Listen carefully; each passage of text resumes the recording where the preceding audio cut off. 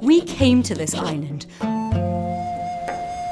broken and empty handed. But at least we had each other.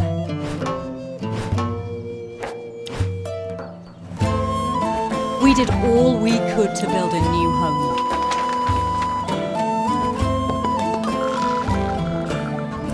We couldn't relent. We rationed everything. One step at a time, we started to feel at home again. We weren't alone. If we were lucky. It meant more mouths to feed.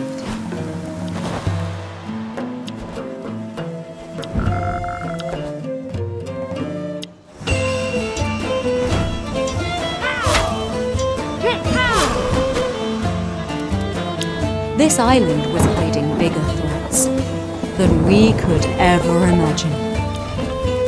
Why did the gods let us live? Oh, I can't let up. Let my daughter give up? My husband? There's always hope.